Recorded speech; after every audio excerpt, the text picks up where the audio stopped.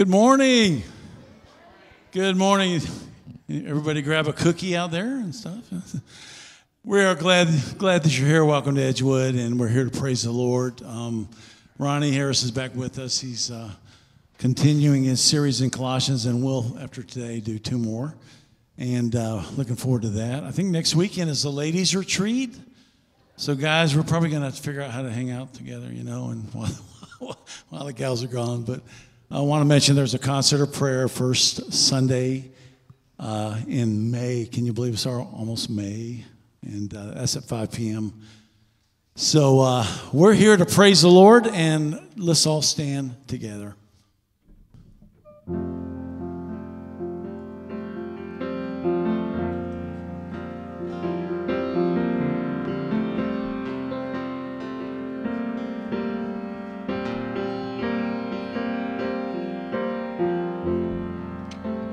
Worthy of every song we could ever sing. Worthy of all the praise we could ever bring. Worthy of every breath we could ever breathe. We live for you.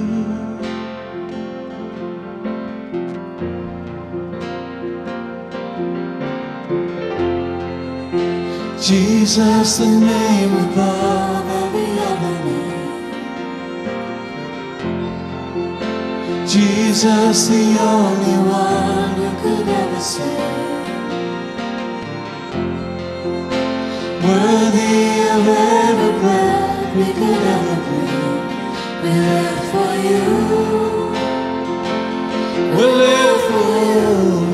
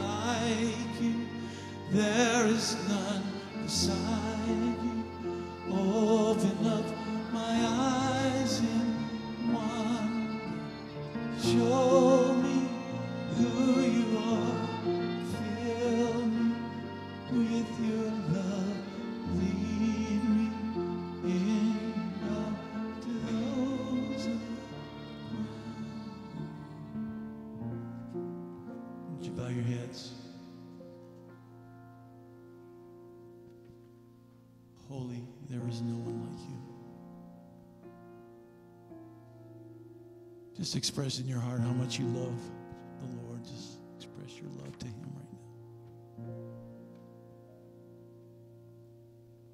now.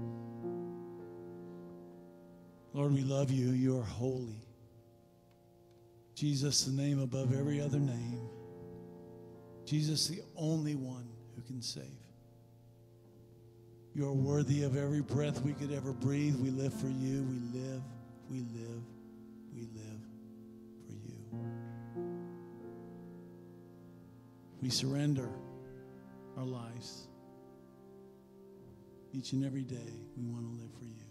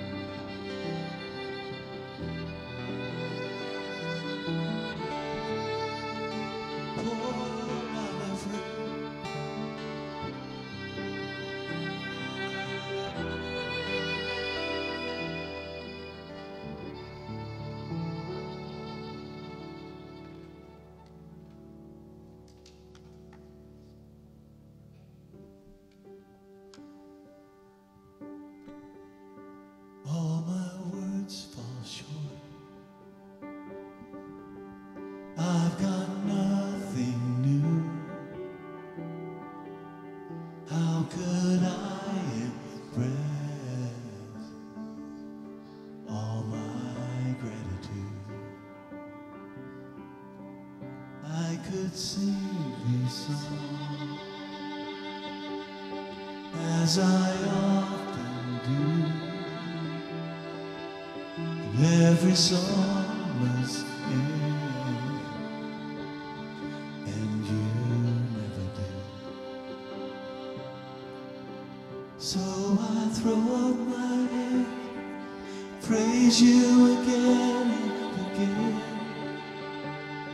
is all that I have.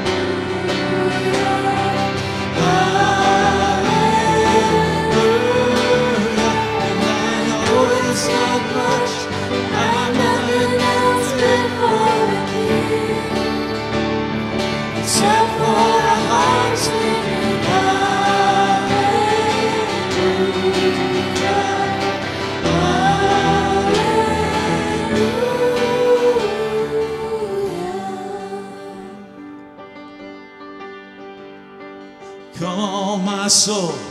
Oh, don't you get shy on me. Lift up your song. Cause you got a lion inside of those lungs. Get up and praise the Lord. Oh, come on, my soul. Oh, don't you get shy on me. Lift up your song. Cause you got a lion inside.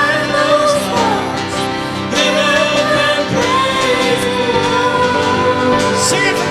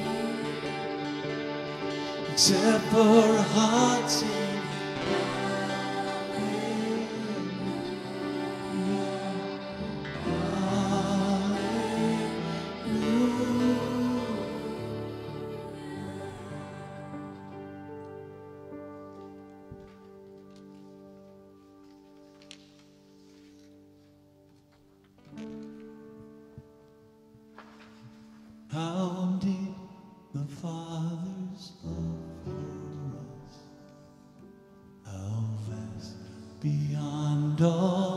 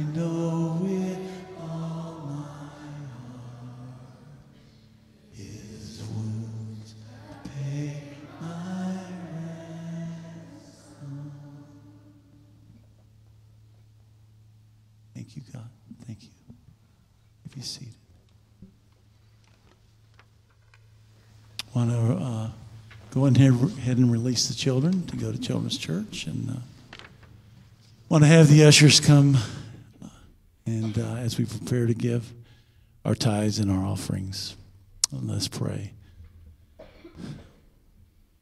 Lord we why should i gain from your reward? We cannot give an answer but this we know with all our hearts is that your wounds have paid our ransom. And we are so, so grateful this morning, God.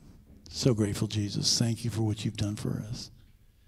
We give back to you today and bless our tithes and our offerings. In Jesus' name, amen.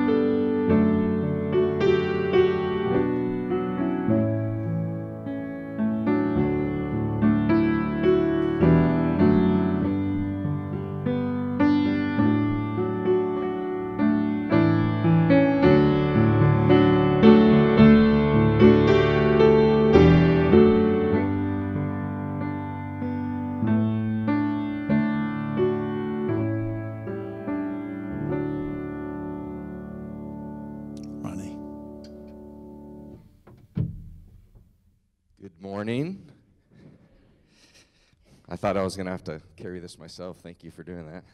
I thought maybe after a couple weeks I was, you know, old old old hat now, so I got to pull it myself.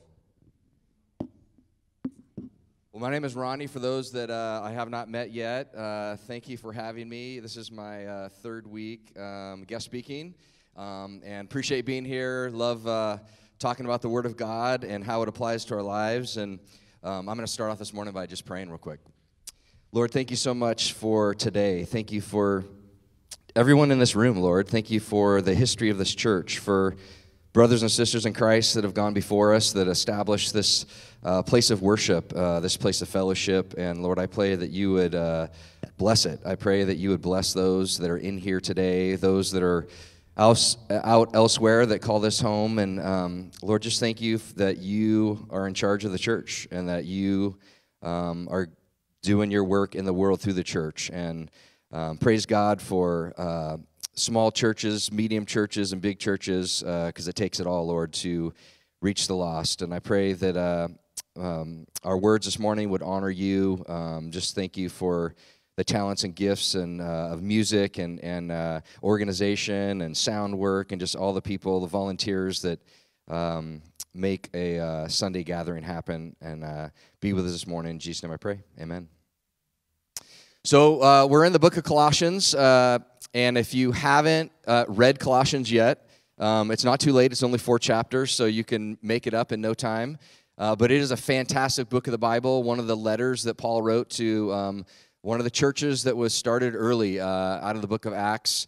Um, we saw the start of the church, which we, sitting right here uh, a few thousand years later, uh, are the fruit of that. We are uh, the continuation of the church, local people gathering together in the name of Jesus, um, learning and growing, um, challenging, uh, carrying each other's burdens.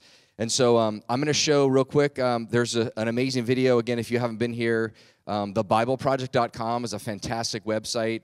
Um, Tim Mackie and his partner John, I can't remember John's last name, um, created the Bible Project, and they explain books of the Bible. They have topical themes that explains um, all kinds of stuff in the Bible. So we're gonna um, show what we talked about last week, and then what we're gonna be talking about this week as well. So go ahead and roll that video letter to the Colossians. It was written during one of Paul the Apostle's many imprisonments for announcing Jesus as the risen Lord. And the letter is addressed to a group of people that Paul had never met who made up a church community that he didn't start. This church in Colossae was started by a co worker of Paul's named Epaphras, who was actually from that city. And Epaphras had recently visited Paul in prison, and he updated him on how well the Colossians were doing overall, but he also mentioned some of the cultural pressures tempting them to turn away from Jesus. And so Paul wrote this letter to encourage the Colossians to address the issues that Epaphras had raised and then to challenge them to a greater devotion to Jesus. The letter's design and flow of thought are pretty easy to follow. The opening movement focuses on Jesus as the exalted Messiah. Paul then goes on to show how his suffering in prison is for the exalted Jesus. And then he addresses the pressures tempting the Colossians to turn away from Jesus. After this, he explores the new way of life that Jesus' resurrection opened up for them. So the letter opens with two prayers. Paul first thanks God that he learned from Epaphras that the Colossians have been totally faithful to Jesus, showing love for God and their neighbors, all because of the hope they have in the new creation that Jesus has in store. And so he moves on to pray that they would grow in their wisdom and understanding about Jesus. And then Paul has placed a poem here to help the Colossians and us do exactly that. It's the centerpiece of chapter 1, a poem all about the crucified and exalted Messiah. It has two parallel stanzas, and it's crammed with language and imagery from the books of Genesis and Exodus, from the Psalms and the Proverbs. The first stanza explores how Jesus is the true image of God. In him, the full character and purpose of God is embodied in a human. He's the firstborn, an Old Testament phrase about Jesus' royal status over all creation. He shares in the very identity of the one true Creator God. And by him, all reality, all powers and authorities, spiritual and human, have been created. It's in Jesus the Messiah that we discover the very author and king of creation. And so in the second stanza, we discover he's also the one bringing about a new creation.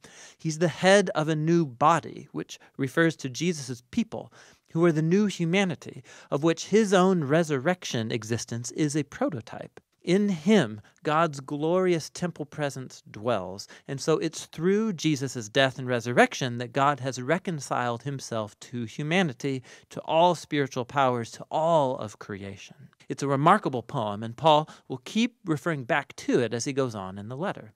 So he first shows how the truth of this poem transforms his own experience of suffering in prison. He's being punished for announcing to the Greek and the Roman world that Jesus is the resurrected Lord and King of all. And so his suffering, he thinks, is not a sign of defeat. It's actually his way of participating in Jesus' own suffering done as an act of love. And so his hardships are actually a cause for joy. He's imprisoned for the surprising news that Israel's resurrected Messiah is creating a new multi ethnic family. And more, just as the divine glory dwelt in Jesus, so Jesus dwells in and among his international family. Or as Paul says, the Messiah is in you all, the hope of glory.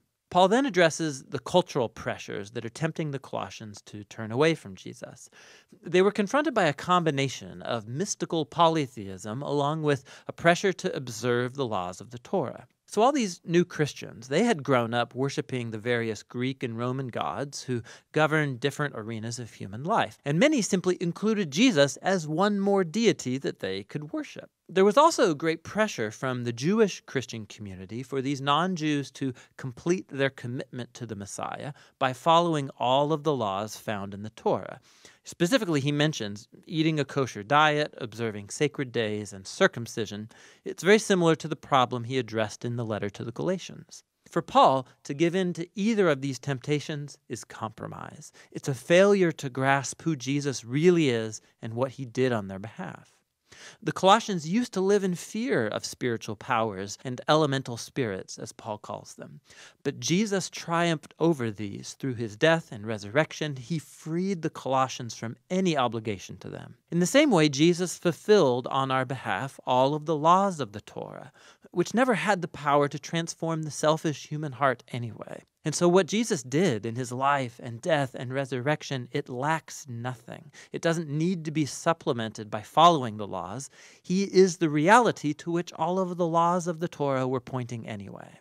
Instead of the laws, followers of Jesus have the power of his resurrection to change them, which is what he goes on to explore. Okay, that's Following good. Jesus means joining. Perfect. So um, last week we did chapter one through um, the first couple verses in chapter two. This week we're going into chapter two. But um, Colossians is so good. We're doing only four weeks because there's four chapters, kind of made it easy like that. But um, th- it's so good because there's so much packed into this uh, book that really it could be preached on for, for quite a while. So I'm not doing it the full service, but I'm trying to do it my best service uh, for these four weeks. But as a reminder, last week, uh, Paul opened with a prayer of encouragement and thanksgiving.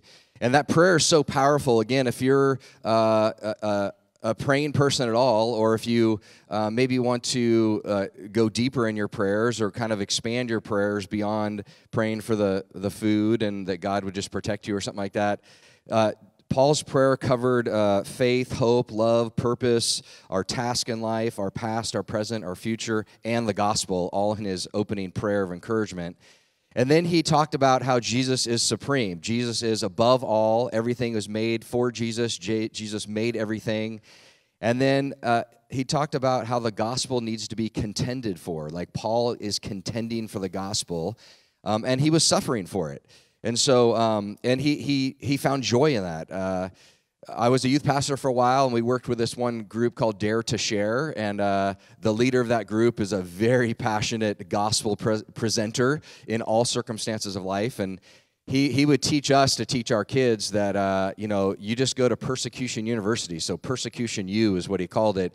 It's when you share the gospel with people it's not always going to be received uh, as you would hope it would. On one hand the, the gospel transforms lives just in and of itself the word of god and, and that can change somebody in an instant but it also is uh, offensive to people because it exposes sin. And so then you're going to get pushback if you talk about the gospel um, to people that maybe uh, are not in a frame of ri- uh, mind to hear it. And so so that was last week. This week colossians 2 uh, 6 through 23 is the passage we're going to go through. I'm going to start reading uh, uh, again it's really good stuff. Verse 6 therefore As you received Christ Jesus the Lord, so walk in him, rooted and built up in him and established in the faith, just as you were taught, abounding in thanksgiving.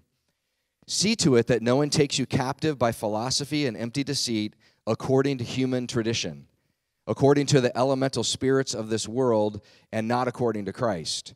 For in him the whole fullness of the deity dwells bodily and you have been filled in him, who is the head of all rule and authority. In him also you were circumcised with a circumcision made without hands, by putting off the body of the flesh by the circumcision of Christ. Having been buried with him in baptism, in which you were also raised with him through the faith in the powerful working of God who raised him from the dead. And you, who were dead in your trespasses and the uncircumcision of your flesh, God made alive together with him, having forgiven us all our trespasses, having canceling having canceled the record of debt that stood against us with its legal demands. Then he set aside this he set aside, nailing it to the cross.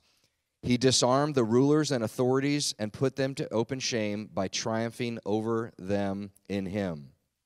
Therefore, let no one pass judgment on you in questions of food and drink and with regard to a festival or a new moon or a Sabbath. These are a shadow of things to come, but the substance belongs to Christ. Let no one disqualify you, insisting on asceticism and worship of angels, going on uh, uh, in detail about visions, puffed up without reason by his sensuous mind, and not holding fast to the head from which the whole body, nourished and knit together through its joints and ligaments, grows with a growth that is from God. I feel like Paul has a lot of run on sentences. These are long sentences.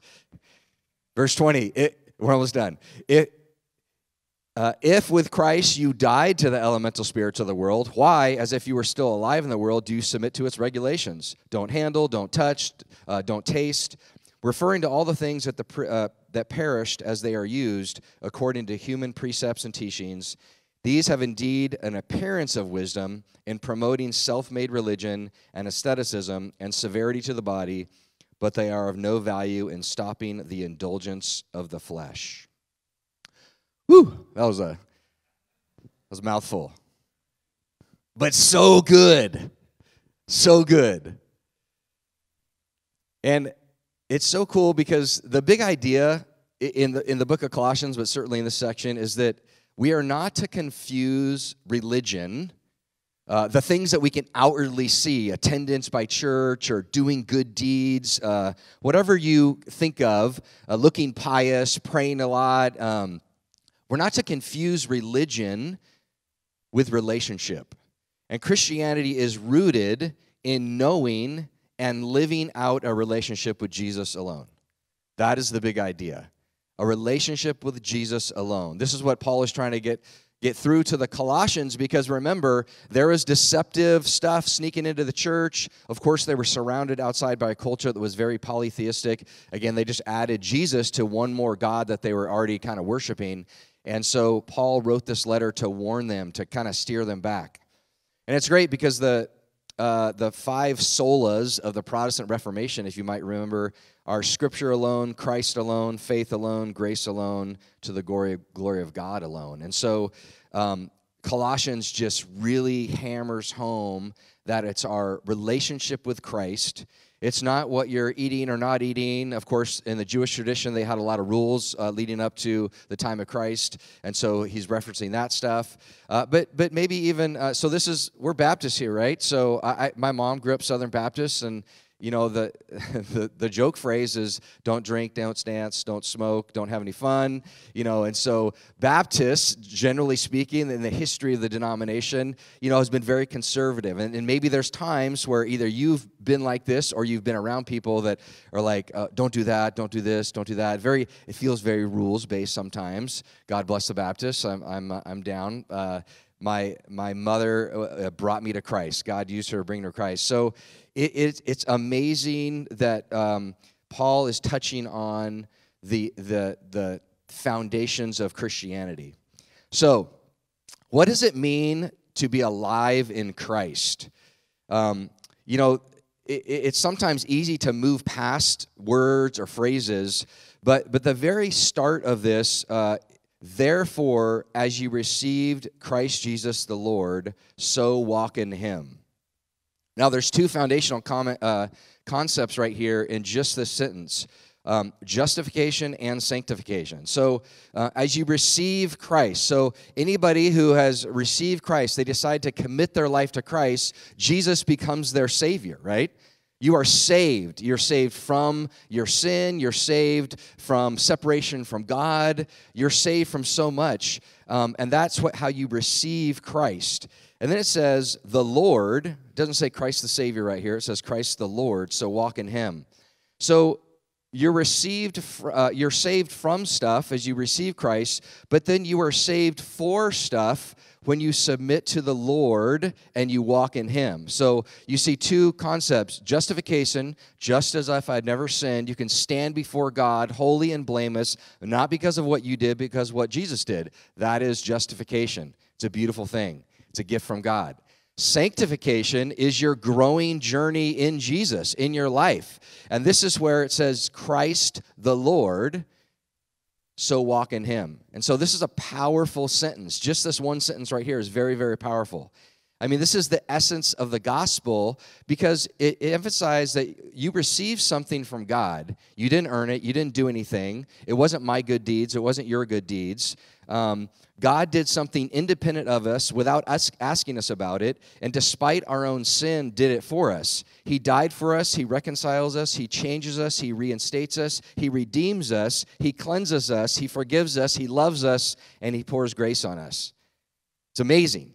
It's good news. That's why it's the gospel, the good news. You know, there's all kinds of good news out there, right? Um, I recently received some good news. I was given a job offer by a, a company, and um, I was happy about this news. This was good news. But it was based on the fact that I interviewed and I had all this experience and I could demonstrate examples of what I did. And so I earned this job offer.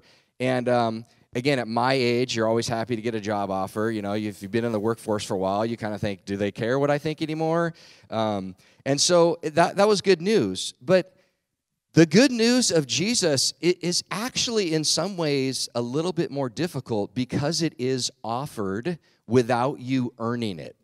And it's hard for us to divorce uh, us earning things and, and feeling good about that and somebody just giving us a gift. Like if you get a gift on your birthday, you're like, okay, I was born, I earned it. But the gift from God, like sometimes when you're given a gift from people, uh, you, you, it's kind of like hard. Sometimes some people have a hard time receiving gifts. I mean, maybe there's some people in there. I don't, but like some people don't. It's hard to receive gifts, and so it, it actually takes some humility.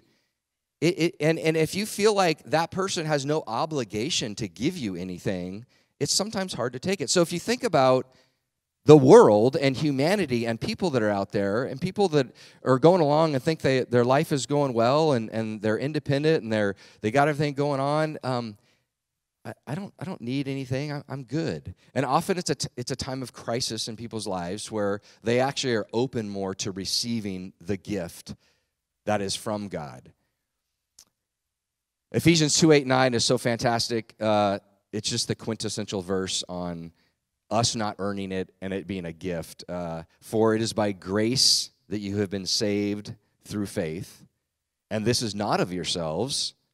Just make sure you know that. It is a gift of God, not by works, so that no one can boast.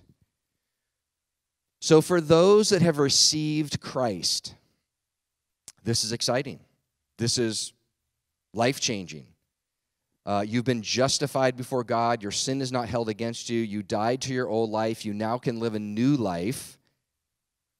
And this is this is amazing news. I actually uh, was at a men's breakfast yesterday. I heard a testimony of a, a guy that it's one of those testimonies that is just so uh, rough. Uh, I mean, drug addiction, uh, family uh, family of origin problems. Uh, he fathered a daughter at a very young age, wasn't ready to be a dad. He was addicted to drugs himself. As his daughter grew up, he found out because he was kind of an absentee dad that his daughter was being um, sexually abused by a grandfather, and he had guilt over that. And he just did more drugs. And then he introduced his daughter to drugs once she got old enough.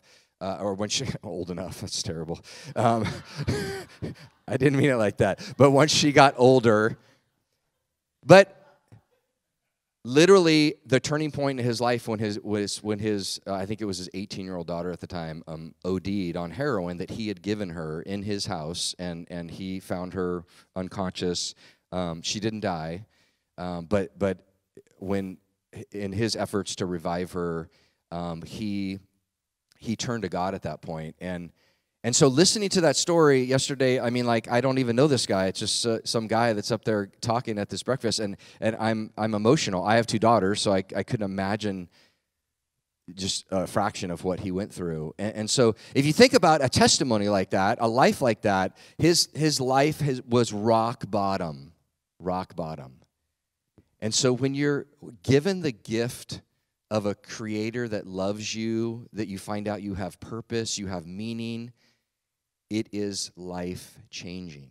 One of the questions to this guy after his testimony uh, was, uh, what about just like people that don't have like a dramatic testimony like that? Like, what about all of us, uh, you know, the rest of us type of deal? And, and he said, actually, you're in a worse position. He says, because you actually think life is good, you think uh, you can make it on your own, and that is in a worse position to actually be in a rock bottom place and realize that you cannot live on your own and you can't do it on your own. And it was a powerful statement. It, it, it, it hit me well.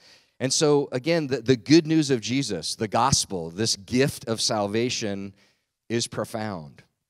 So, Christ Jesus the Lord, so walk in him. So, the Lord, again, different than the word Savior, both amazing words. But to be saved uh, from your past and then uh, the, to, to submit yourself to the Lord, again, that, that that's, um, implies surrender, that, that re- implies relationship, that implies obedience. And so there, there is definitely something to this that, again, being saved is fantastic. It's a gift of God. You're, you're, you're, you, you have uh, a new life in front of you. But then there's something about us at that point that that that we respond to God and we um, change uh, our life. And so it's kind of like, what should I say? How should I act? What what should I put my effort into? How should I treat others? Um, sancti- this is sanctification. This is the process of being set apart by the Lord for His works, for His purposes, for His kingdom. And so hopefully you're feeling the tension here that uh, because I think maybe we've all been there for those that have given their life to Christ before that that that you discover somewhere along the way that like you know it's maybe all your old habits aren't dropped right away. They're they're difficult to drop. Maybe all your old friends aren't dropped. And so um, the question is uh, yes are you're you're saved but are is Jesus your Lord? And are you walking with him and so the, the question is, what does walk with him look like? And it's, it's, uh, it's rocket science. No, it's not rocket science. It, it's as you would guess. It is daily, weekly, monthly, yearly spending time with God. I heard a fantastic testimony this morning. I was just talking to somebody in the hallway. Asked him how he came to Christ. He started reading the Bible. Profound. He started reading his own Bible. Somebody gave him a Bible, and he tried one time and then shut it because like he read some verse that didn't make sense to him and then he shut it, put it away for a few more years. But then was challenged through some relationship uh, in a good way, through friendship and stuff, and just reading your Bible. It's it's just showing up with God. That's walking with him. It's putting in the work. Again, day after day, week after week, month after month, year after year. You know, some people, uh, I, have used this before where uh, how people like interact and, and view celebrities some, is, is a, how a lot of people actually treat God. And, and, and here, I'll give you an example. So I, I played in the NFL for a few years, and I played with some big names, right? Like, my name was not a big name. Um, my nickname when I got out of the NFL and I started my first job and I went through training, and they're like, wait, you played in the NFL? We've never even heard of you. And so then they nicknamed me Almost Famous. Um, so, but I played with some guys that, that, that you may know their names. One of them was Drew Bledsoe. He was the first round pick out of Washington State. I mean, it was a long time ago, so if you're young, maybe you don't know Drew. But he was before Tom Brady. Everybody knows Tom Brady. Um, and Drew, uh, you know, there's people that know everything about Drew. They know all his stats, all his big games, you know, about his college uh, career, his pro career. Um, but they, they've never met Drew. They don't know Drew. They just know about Drew. And then there's people maybe like me that like I know Drew. Like I was teammates with Drew. I, I, I was friends with him. Uh, I've, I've ridden in his car. His, he was so excited. He got a Porsche one day and he was like, Ronnie, you want to go for a ride in my new car? And I'm like, yeah, let's go ride in your new Porsche. And, and he's like, well, I thought I'd go Porsche because that's more everyday. Ferrari's kind of a little bit, you know, too. Uh, so I was like, yeah, I get it. Um, but I'm friends with Drew. Now, I don't live in the same city as Drew, and I don't talk to Drew all the time. Uh, I don't call him up. Um, I have I, have emailed him a couple times. Uh, I've run into him, and when when we see each other, it's like you know we like give each other a high five or hug, and we talk about the good old days and the one pass I caught from him. I, we don't talk about that actually. Um, but it was really cool, actually. My who at the time was going to be my future son-in-law was going to propose to my daughter, and this was going to happen at a Washington State football game because my daughter was working for the university while she was going there, and we actually had the privilege, my wife and I, and my daughter, to tag along with my future son-in-law to while he was going to propose. And so we snuck up to the suite level because that's where my daughter was. And then we had to hide in one of the suites before we went down to surprise we like i'm doing this. My, my son-in-law was going to do it but i was tagging along and we went into the seat and there's drew and it's like hey hey drew and, and then so he got to talk to my son-in-law i was like are you ready to marry uh, ronnie's daughter you know and it was great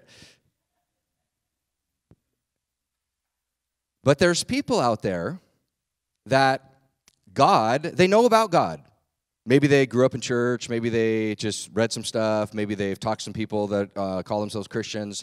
They know about God, but they don't have a relationship with Him. They don't really know God. And then there's people that would say, like, yeah, I, I'm a Christian. Uh, I, I know God. Like, I gave my life to God. Um, but but it's kind of like me and Drew. It's like, hey, we see each other once in a while, every few months or every every couple years. We run into each other.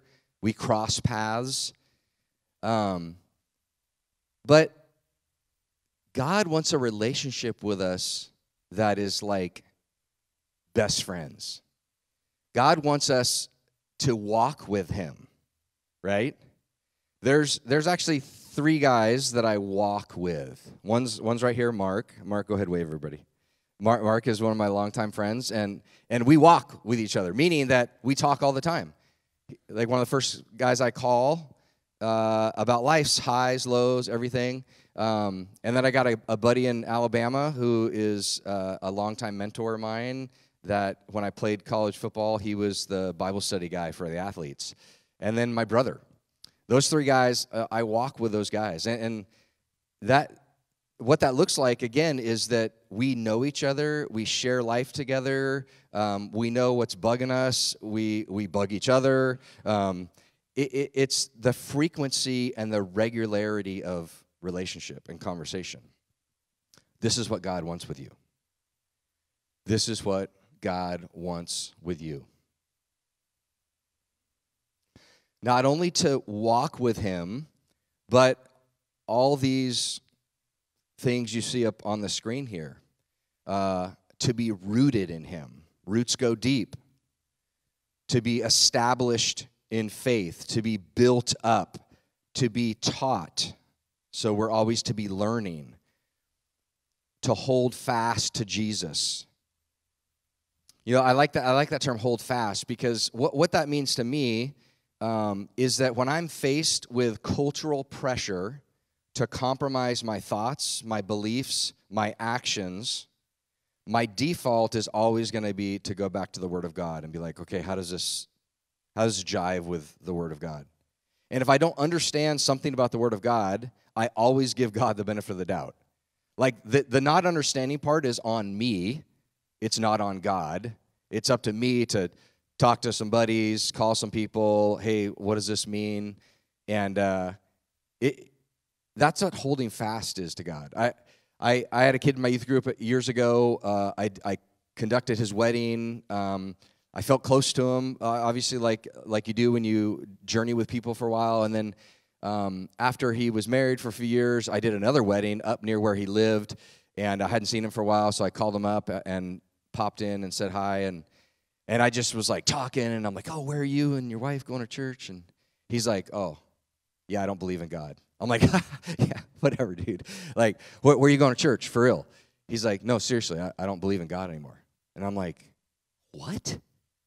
And he had like a, what happens a lot of times to people in their like late teens early 20s they're exposed to the world in a new way whether it's be college or or whatever new experiences new places. And, and all of a sudden they're like wait there's there's there's something else out there. There's competing ideas.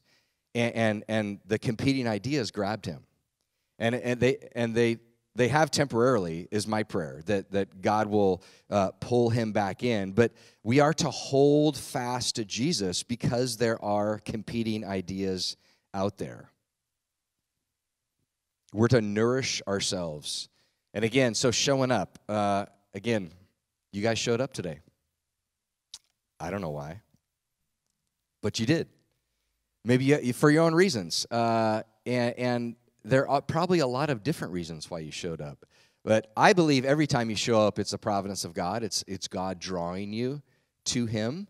And, and again, uh, it's all about a relationship with Jesus. So it's not about how many times do you go to church, but in my experience, if you go to church and you hear the word of God being preached and you worship God in, in song and, and word, and then you fellowship with other Christians, I mean, this is this is building your faith. This is growing in your faith. This is what we're supposed to be doing.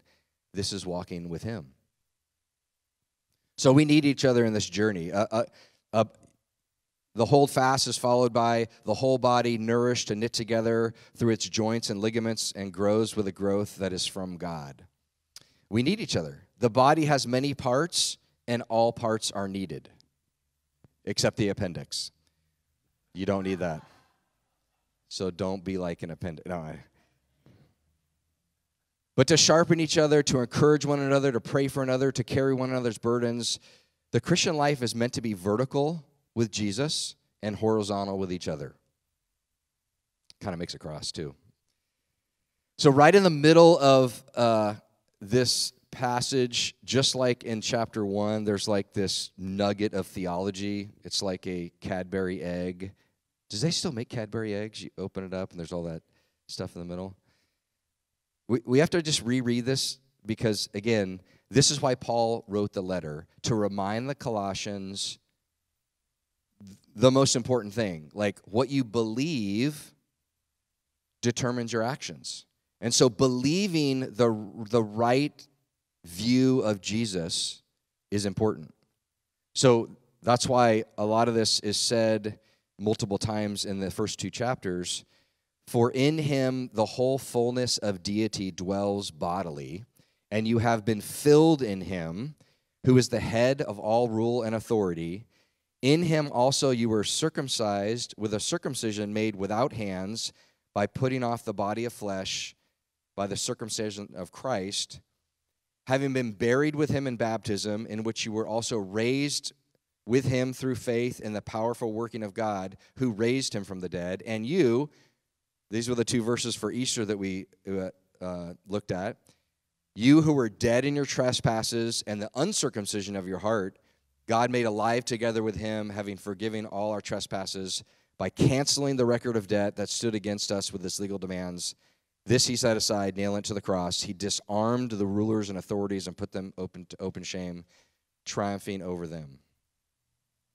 This is why um, Jesus is the only way. Uh, you probably have had friends, and maybe you've been this person at one point in your life um, that you hear people say that um, you know, kind of all roads of God like lead to God, like all spiritual paths. You know, everyone just calls them by a different name depending on where you grew up and stuff like that. But but it's not true. It's not true. Uh, Jesus is unique. His claims are unique, and he backed those claims up. And so Jesus is God. He fills us up. He cuts away our old self. And then this beautiful picture of baptism by immersion, where we're, we uh, our old life is is washed away our sins are washed away and then we're ro- rose to a new life in christ it is very good news at the end uh, of the chapter 2 we have a few warnings a few warnings one is uh, to not be taken captive by philosophy or by empty deceit according to human tradition so this you could think of stuff that you know most mostly would be outside of church. Um, I certainly these these things can infiltrate the church, but um, some of them are a little bit more obvious than others. Um, I, I, had another gal uh, in youth group that um, she went through some traumatic stuff, and so she kind of like walked away and, and, was really lost as an individual because she had some trauma done to her, and then she I ran into her a few years later, and she was all excited because she was doing so well. And then she sent me the link of a person that like had helped change, and it was it was like a I would say it was just an American shaman. It was a is a gal that was like basically sold a philosophy of how to be a better you, and it and it helped her uh, at least temporarily get her out of her her place, but but it it, it wasn't it wasn't Jesus. Um, and and and so we need to be wary of uh, things and philosophies and life. Um, it's really funny. The last couple months, I've traveled twice to Colorado to um, visit my father-in-law. My wife and I did because he had surgery on his back and um, had a long recovery. And so, waiting in line, I don't know if you guys do this, but uh, when when you're in like the security line, Denver had the longest security line I've ever been in my life. It was it was crazy, and so it was it was it was 47 minutes of just like walking all around the Denver airport, and then eventually we we went in. And but so I started talking to this gal behind my wife and I, and and uh, you know by the time we were done talking, she was you know talking about the shroom, you know her shrooms. She only does stuff that's grown out of the ground. That was like safer to her and just you know the the joy it brought her. And then the last time I got stuck in the car rental place, and a guy had he was from Yugoslavia and he had been through the war when he was like eight to 13 years old. And so he said he had a lot of trauma in his life. And so he found this light therapy. Um, and I don't even know, it's not a tanning bed, but it's like light therapy. I wound up looking it up, and it was very new age Uh, so again like you talk to people out there just in the public and you're going to get all kinds of stories of things that are like filling people's voids in their life. And and the the, the sad thing is is things like that are, are, are temporary. I actually asked him i'm like hey did the light therapy last? Like was it just like a momentary thing or did it last? And he was like well it lasted until i smoked a lot of weed and that just messed it up. And so those are his words verbatim. And so you're going to hear out there so many different strategies to feel better. Um, but but they're they're temporary and they're they're false and they're they're based on human tradition. And then we're we're to um, not let anybody disqualify us based on religious looking things that you're doing or not doing. And this is important inside the church sometimes because depending on uh, you know, different church settings you maybe been in and stuff. Um, you know, there there's some people that, look really spiritual and that um, that maybe they they they say a lot of thing a lot of times like God told them this, God told them that, and and and there's there's like this it's it's like a modern day gnosticism of like a higher knowledge. And then then all of a sudden you're like well hey i'm not having these spiritual experiences. And then if you really start talking to them they're like well have you surrendered fully to god? And do you have sin in your life? And and, and it's like they take stuff that's that's good foundational stuff that like we need to examine our lives. And and we, and I want to be connected to God as much as everybody else but we got to be careful with um, the origins of some of these very spiritual experiences that you may find even within the church and so we're to beware. We're to, um, so if you're doing something or not doing something and you're getting criticized for it, again, scripture is our basis. This is what God's word to us. And again, as a reminder, Hebrews 1 1 and 2 is a fantastic uh, couple verses where it's just as a reminder. In the past, God spoke to our ancestors through prophets at many times and in various ways, but in these last days, he has spoken to us by his Son who he appointed heir of all things, and through whom he also made the universe.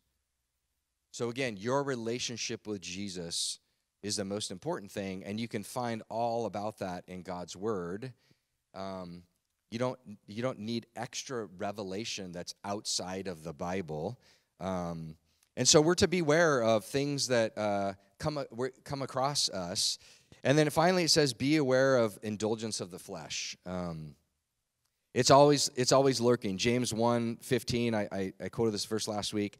After desire has conceived, it gives birth to sin, and sin, when it's full grown, gives birth to death. Our desires are not bad. God gave us desires. We desire to be loved, to be known, and, and to know, uh, and to love. And, and that, those aren't, that's not a bad desire. But it's when the object of our desires are outside of what God would have for us. What God says, "Hey, I designed you this way. This is this is how life flourishes. This is how you can be blessed." And when we go outside of that, that's when uh, it gives birth to sin, and sin gives birth to death. And that's um, you know much of uh, the popular culture that sounds good, but ultimately is going to lead you to a place um, of pain. And so, our number one object of desire for love, for connection, for salvation, for healing, for comfort, for strength, for courage needs to be Jesus. And as long as everything else is submitting to that, then you're in a good spot. You're in a good spot. And so, as a reminder today, don't confuse religion with relationship. Christianity is rooted in knowing and living out a relationship with Jesus with no other add ons. That's what Paul was telling the church of Colossae a couple thousand years ago, and what he's telling us today. Let's pray. Lord, thank you so much for your word. Thank you so much that we can we can always come to you, certainly in prayer and in conversation. Um, we can always get uh, godly advice from other people that love you, that we're in relationship with. But Lord, thank you that we have a foundation of your word that, that is timeless, that doesn't change, and that is relevant. Your word is so powerful, as was testified this morning, by reading your word, your Holy Spirit illuminates, and we can discover what it is to have a life not just saved from a few things here on earth and maybe an insurance policy for when we die, but we can have you as our Lord and we can walk with you daily. And that by that you sanctify us, you change us, you mold us and so then life becomes about how we can be a part of your kingdom as opposed to you being a part of our world. And Lord, I just thank you for that gift that you give us. The gift that maybe sometimes is hard to accept for people that life's kind of going pretty good. Lord, help us to recognize that no matter where we are, no matter what kind of security we think we have, that we need you. And that life is in you, life was made by you, and we have life because of you. And so, Lord, help us to tap into that. Help us to understand what that means for each and every one of us today, tomorrow, and the next day. In Jesus' name we pray. Amen. Let's all stand together.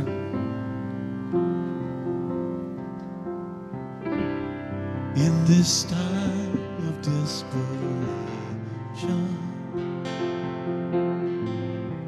when all we know is doubt and fear,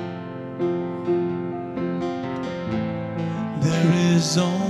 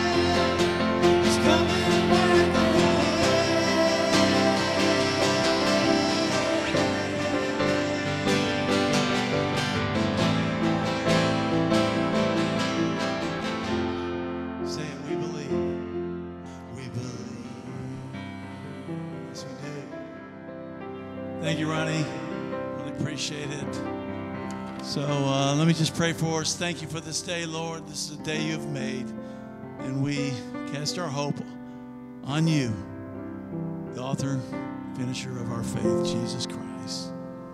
Go with us now in Jesus' name.